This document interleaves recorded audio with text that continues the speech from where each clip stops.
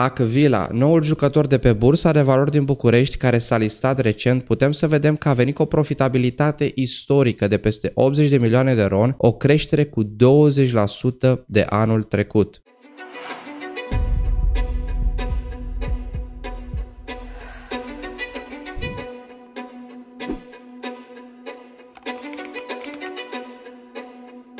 Agvila, Aquila, depinde cum pronunți. Am auzit în română mulți că pronunță Agvila, poți să pronunți și Aquila, acum știu și eu, nu asta contează. Ideea este că putem să vedem, au venit raportele trimestriale, chiar raportele preliminare la nivel anual pe 2022, o profitabilitate interesantă, venituri în creștere, rămâne de văzut cum se va poziționa această companie pe perioada următoare, de aceea trebuie să analizăm astăzi situațiile financiare și să stăm de vorbă puțin despre acest jucător, Agvila, pentru că foarte mulți investitori au cerut să facă o analiză despre această companie, sunt destul de interesați pentru că e nouă pe bursă, am văzut că este integrată în BET, în indicele BET, cu o pondere neglijabilă cei drept, însă cumva a fost luată în calcul și atunci ar fi bine să aruncăm un not cât se poate de critic, obiectiv și să ne facem bine temele că poate să fie o investiție atractivă sau nu. Hai să dăm drumul la analiză, dar nu uita, fă un ceai fierbinte sau o cafea, pentru că vreau să parcurgem împreună această analiză ca de fiecare dată, comprehensiv, temeinic, însă nu ne grăbim nicăieri, avem o discuție casual și ieșim pe partea cealaltă mai informații. Hai să-i dăm bătaie. În primul rând, compania de distribuție și logistică Agvila încheie 2022 cu un profit net de 85 de milioane de lei plus 20% de la an la an și venituri de 2,2 miliarde de lei, creștere cu 15%. Deci vorbim în miliarde. Ok. Vedem că Agvila Apart Prod, simbol bursier AQ, cel mai mare jucător de pe piața locală de distribuție a bunurilor de larg consum, a încheiat 2022 cu venituri de 2,21 miliarde de lei, echivalent unei creșteri de 15% față de anul precedent, în timp ce profitul net s-a majorat cu 20% de la an la an, până la valoarea de 85 de milioane de lei, cel mai bun rezultat de la înființarea companiei. Și vedem, în structura veniturilor există trei segmente de afaceri da, care drenează, care aduc aceste venituri. Avem distribuție, logistică și transport, creșteri pe fiecare segment. Veniturile aferente brandurilor proprii, da, Gradena și La Masă, au avut uh, un avans de 43% în 2022 uh, până la 67,5 milioane de lei. Marja brută a companiei s-a îmbunătățit cu 1,6 puncte procentuale până la 21,3%, ceea ce nu este o marjă atât de rea pentru industrie, însă destul de mică pentru anumiți investitori care vor marge mai mari în alte industrie, dar pentru această industrie cu bunuri de larg consum nu este o marjă atât de mică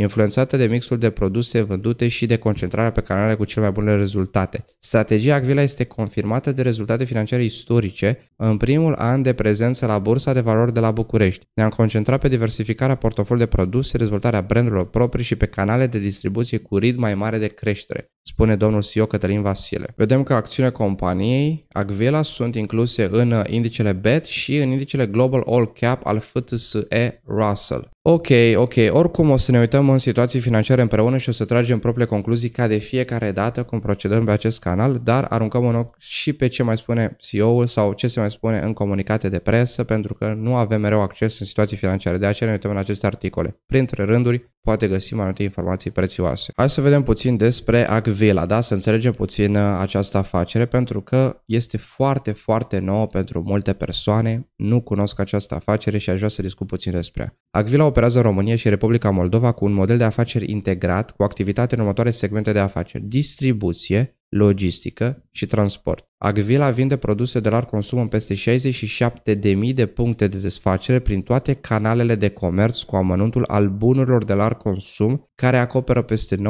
din piață. Uriașă poziție strategică. Portofoliul de produse integrat însumează peste 10.000 de produse, mărci consacrate din diferite categorii, precum produse de îngrijire personală, Rexona, Dove, Dulciuri, Kinder, Rafaelo, Snickers, Mars, adică ei distribuie în acele puncte, da? în acele posuri, point of sales, în anumite hipermarketuri sau știu și eu în anumite puncte de comerț cu ridicata, nu neapărat cu amănuntul, dar în principal ei distribuie aceste branduri, da? Asta vreau să spun aici. Și ce putem să vedem? Că mai distribuie cafea, lavazza, produse de curățenie Dero, Cif sau Cocolino, mâncare pentru animale, de companie și așa mai departe. Compania a fost înființată în 1994, din noiembrie 2021 e listată la BVB, de asta foarte mulți au apetit față de Agvila că e o companie nouă, ca urmare a unei oferte publice inițiale în valoare de 367 de milioane de RON. A fost cea mai mare ofertă publică inițială derulată de o companie antreprenorială românească pe piața de capital locală. Acțiunile companiei sunt incluse, am spus deja, în indicele BET și în uh, FTSE Russell și vedem compania a obținut nota maximă 10 în cadrul evaluării vector efectuate de Asociația Română pentru Relația cu Investitorii cu guvernanță corporativă și comunicarea cu investitorii. Am înțeles, e o companie tânără pe bursă. Hai totuși să nu ne grăbim și să dăm cele mai mari calificative, rămâne de văzut pe o perioadă mai lungă cum va performa. Vedem că rezultatul obținut vine în contextul creșterii veniturilor companiei cu 15%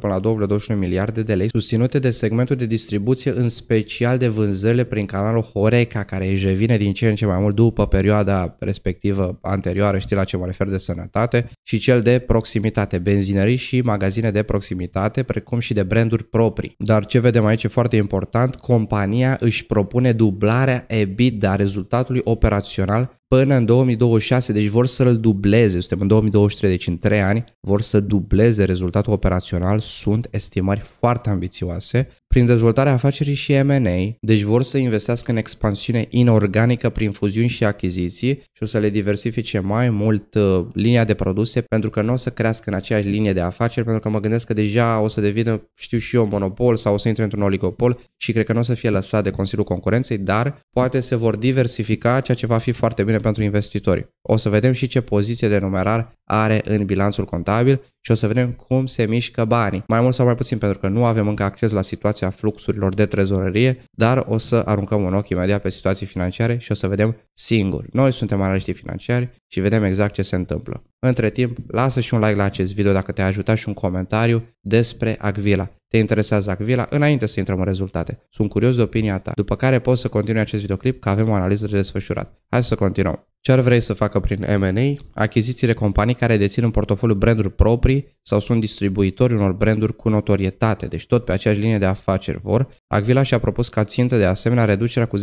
a emisiilor de gaze cu efect de seră până în 2026, renoirea flotei de tiruri și de mașini, bineînțeles pe partea de logistică, că ei asta fac, optimizarea rutelor de transport, eficientizarea operațiunilor logistice, cursuri de conducere defensivă pentru angajați, precum și utilizarea surselor alternative de energie. Hai să intrăm în situații financiare pentru Agvila să vedem exact despre ce este vorba. Agvila lider în servicii integrate de distribuție și logistică pentru piața bunurilor de larg consum din România și Republica Moldova, cu aproape 30 de ani de experiență în această industrie. Încheie anul 2022 cu afaceri în creștere și un profit de 85 de milioane de RON, cu 20% peste anul anterior. Rezultatul obținut vine în contextul creșterii veniturilor companiei cu 15% până la 2,2 miliarde de lei, susținute de segmentul de distribuție, în special de vânzările prin cadrul Horeca, proximitate, precum și branduri proprii. Ok, am văzut strategia, am discutat deja, am văzut în articol, în structura veniturilor am văzut ce segmente există, distribuție, da, creștere 15%, logistică 7%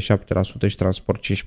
Marja brută s-a îmbunătățit, dar hai să ne uităm în bilanțul contabil, vedem în totalul de active imobilizate o creștere destul de mare, îmi place să văd, vedem o investiție mare în imobilizări corporale, probabil în flotă, probabil în alte echipamente foarte importante pentru afacere, încă nu putem să vedem pentru că nu avem note contabile, Așteptăm raportul anual pe 2022 să vedem exact de unde derivă aceste cifre. Deocamdată nu avem acces la ele pe 2022, dar o să avem în cele ce urmează. Îți spun imediat de fapt când o să avem. Pe 28 aprilie 2023 se publică raportul anual pe 2022. Acum, să revenim puțin. Ce vedem aici? Fond comercial înseamnă că au achiziționat companii, dacă au fond comercial, și putem să vedem împrumuturi acordate părților afiliate, o scădere, dacă ne ducem la active circulante, să vedem ce capital circulant există și cum se mișcă banii cumva în el, vedem că au crescut stocurile, deci erodează numerarul operațional, au crescut creanțele, iarăși erodează. Pe de altă parte, alte creanțe au scăzut, cheltuielile în avans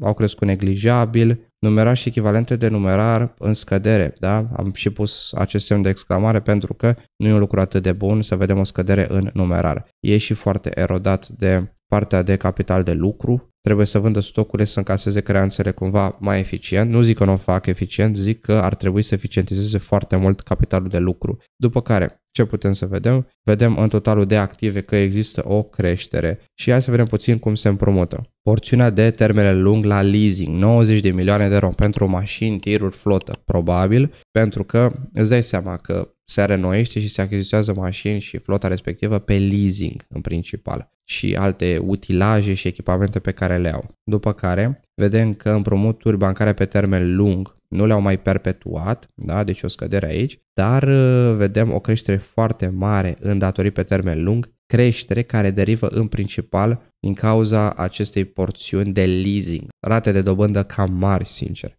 Asta este, asta e modelul de afaceri. Dar pe partea de datorii curente, vedem porțiunea curentă de leasing, au destul de mult și în 12 luni de stins, da? dar vedem că este o scădere. Vedem aici datorii comerciale destul de mari, foarte, foarte, foarte mari și vedem că e o mică, mică creștere, da, sporește ușor numerarul, dar uh, neglijabil să spun. Beneficiile angajaților au crescut, dar nu reprezentativ și vedem că total datorii curente au o creștere foarte mică. În principal sunt în regulă. Dacă ne uităm la total datorii, 379 de milioane și total active 863 de milioane. Nu au un grad de îndatorare atât de mare dacă ne uităm din totalul de active, au capitalul proprii mari și atunci e un lucru destul de bun. Aproape 500 de milioane din 863 de milioane reprezintă, nu știu, 60-70% capitalul proprii. Deci nu sunt atât de îndatorați. Hai să ne uităm în contul de profit și pierdere, vedem venituri mari, 2,2 miliarde, o creștere, Alte venituri din exploatare s-au dublat. Costul bunurilor vândute, vedem creșteri și aici. Mai vedem uh, costul combustibilor că a crescut și totuși știm că a scăzut prețul la motorină și benzină, ceea ce e un lucru foarte bun pentru ei. Cred că a fost o povară uriașă când era prețul super, super sus, dar uh, poate că au făcut hedging. Încă n-am verificat, o să vedem în raportul anual, ar fi fost inteligent să facă hedging, dar uh, ce putem să vedem aici? Beneficiile angajaților au crescut destul de mult, sincer. Acum înseamnă că se și extind, pentru că veniturile astea nu derivă așa din neant, cineva muncește pentru ele. Vedem uh, și alte cifre, alte cheltuieli în exploatare, creștere, profituri în exploatare aproape 100 de milioane de ron. Venituri din dobânzi, pun bani la treabă, îmi place ceea ce văd, da, vedem că au primit dobândă și cheltuieli cu dobânzi, cheltuieli financiare, vedem că au scăzut, dar probabil că o să avem o creștere mare în perioada următoare datorită acelor uh, contracte de leasing și împrumuturi. Rămâne de văzut. Profitul înainte de impozitare și vedem aici profitul exercițiului financiar, 85 de milioane de RON, o creștere frumoșică de la an la an dar rezultatul pe acțiune pe bază și diluat este același, da? Vedem, deși profitul net a crescut, înseamnă că numărul de acțiuni a crescut, da? A fost uh, diluată de ținerea acționarilor și profitul net pe acțiune este același, că altfel nu-mi explic această diferență, dar nu am analizat uh, temeinic uh, această situație, dar asta înseamnă, asta înțeleg, da? Profitul a crescut destul de mult, 20%